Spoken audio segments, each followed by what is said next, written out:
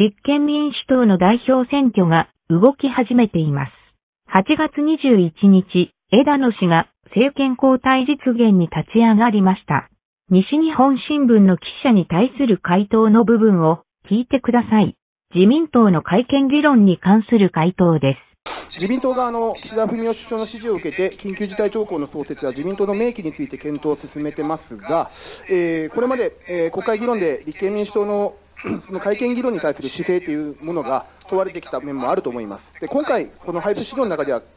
憲法改正について触れられていませんが、江戸野さんのお考えについてお聞かせください。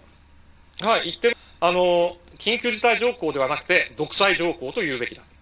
というふうに思います。えー、ですので、これはもう論外だと思っておりますし、自衛隊の明記というのも、今国民的な合意が得られる問題だとは思っていません。私は、あよりよく変わる憲法改正であるならば、それは我が党を含めて我が党も積極的に対応するべきだというふうに思っています。しかしながら今、国民的合意ができ、なおかつみんながより良くなると合意ができるようなテーマをあえて自民党の皆さんが避けていることを大変残念に思っています。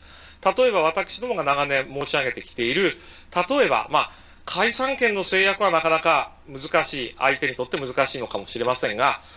例えば、臨時国会の召集について期限が決められていない、これは自民党がかつて出した草案だか試案においてもですね、あの日数を入れるということを自民党の一時考え方があったわけですから、幅広い合意形成ができるはずなんです。本気で憲法を変えたいのならば、幅広い合意形成ができることをあの、提供するべきだというふうに思っていますし、私は、私はそうした意味で、そういうものならありますよということはすでに投げてきている。ボールは自民党にあると思っています。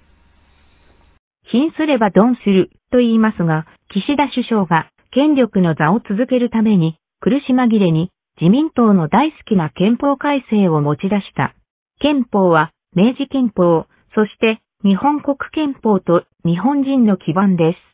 今回の岸田首相の振る舞い、到底許すことはできません。